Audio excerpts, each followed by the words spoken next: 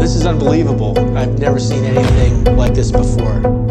With Snapshot, we can predict the physical traits, the source of that DNA, and make downstream investigation a lot more efficient. Whether a person is killed in that location or killed somewhere else and brought to that location, like those are the circumstances we want to understand. Still like some criminal person is out there. There is a, a red box, so there is a warning to the police station.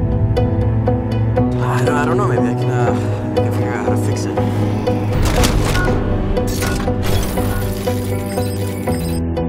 Anyone can 3D print lethal, untraceable, unregulated weapons. Uh, criminals and dangerous people are able to create their own guns in their homes.